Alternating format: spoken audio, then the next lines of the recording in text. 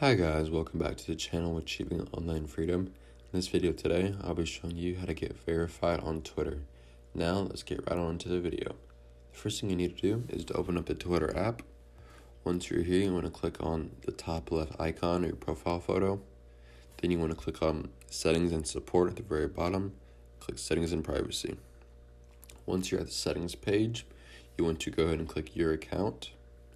And then you want to select Account Information. From here, you're going to see an option for verification request. You want to go ahead and click that. So here it's going to tell you what it means to be verified on Twitter. You'll get the little blue icon beside your name. To be eligible, you need to be active. So you need to have a record of adherence to the Twitter rules. Um, you need to have a complete profile.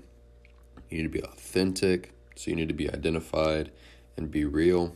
You need to be notable, so your account must be must represent or otherwise be associated with a prominently recognized individual or brand. The process, you want to confirm, confirm your eligibility. You want to add links to evidence. You want to submit your lab application, and it could take up to 14 days for the application to go through. So if you qualify all this, you want to go and click apply now. From here, it'll take you to this page. You want to click Start Request, click Other, or whichever category that you're in. Just click whatever account type, and you just keep on following the steps that they give you. And once you finish all the steps, you'll finish this application. And within 14 days, it should contact you and let you know whether or not you were verified. So I hope this video helped.